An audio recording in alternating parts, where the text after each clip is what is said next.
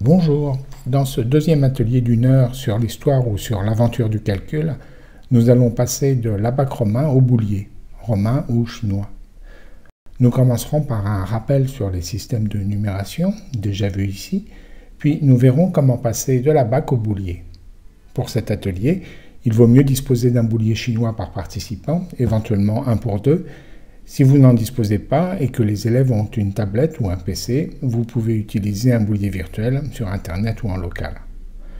Après avoir vu les principes du boulier, nous verrons comment faire les additions et les soustractions, d'abord de façon collective, puis avec des exercices individuels.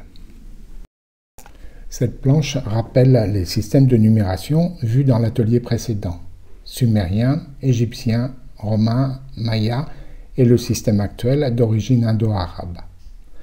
Vous pouvez rappeler ou poser des questions sur les caractéristiques distinctives de ces systèmes. Les symboles sont différents, mais c'est surtout leur organisation qui peut être additive ou positionnelle, parfois un mélange des deux, et la base utilisée, 10, 20 ou 60. Si vous avez le temps, décodez quelques nombres ou demandez aux élèves de dire si chaque système est additif ou positionnel et quelle est sa base. Vous pouvez enfin poser la question de l'invention du zéro par les Babyloniens. Ce zéro est nécessaire dans la numération positionnelle pour lever le doute sur la position d'un symbole, donc sur sa valeur. Par exemple, en écrivant 61 et 3601 dans le système sumérien ou 21 et 401 dans le système maya.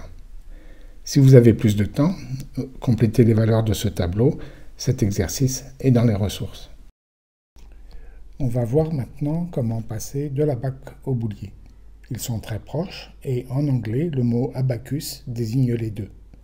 On va déplacer les interlignes et jetons de 5 vers la droite et compléter avec des billes en réserve.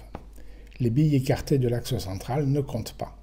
Sur chaque ligne, on va garder au total 5 billes de 1 dites unaires et 2 billes de 5 dites quinaires.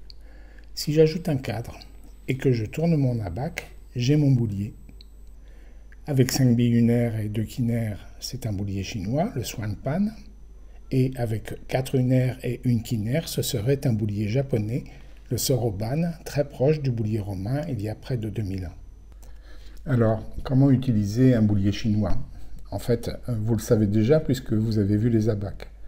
On va le voir ici avec un boulier virtuel et vous pouvez faire la même chose qu'à l'écran avec un vrai boulier ou avec le boulier virtuel que vous trouverez à cette adresse. L'intérêt d'un vrai boulier, c'est d'apprendre les gestes ou le doigté, un peu comme au piano, et avec l'habitude, vous verrez que vos doigts vont presque calculer tout seuls. Donc allons-y. Plusieurs règles. La première, c'est que les décades vont de droite à gauche. La décimale est parfois marquée, ici par un rectangle, parfois avec une tige en métal plutôt qu'en bambou ou avec une bille de couleur. Donc ici les unités, les dizaines, les centaines, etc. Vous verrez aussi que les milliers et les millions peuvent être indiqués ici par un ovale. Il y a plus de colonnes que nécessaire, souvent 11 ou 13, mais ça permet d'écrire deux nombres en même temps, par exemple quand on multiplie. La deuxième règle, c'est que les billes à prendre en compte sont celles qui sont poussées vers la barre centrale. Par exemple, pour écrire 79, dans les dizaines, je mets une bille quinaire ou de 5 et deux billes unaires, ça fait 70. Et dans les unités, une bille de 5 et quatre billes de 1, ça fait 9, 79. La valeur décimale dans ce boulier virtuel est affichée en haut à droite. Si maintenant je veux ajouter 51, j'écris 51 avec une bille quinaire dans les dizaines et une bille unaire dans les unités. Et c'est là qu'arrive la troisième règle. Il faut écrire avec le minimum de billes possible. Donc je peux remplacer 5 billes de 1 ou unaire par une de 5 ou quinaire sur la même décade ou la même colonne et remplacer 2 billes de 5 ou quinaire par une bille de 1 de la décade suivante à gauche, donc 2 billes de 5 pour une bille de 10. Je recommence sur la décade suivante, je retire deux quinaires et j'ajoute une biunaire de la colonne suivante.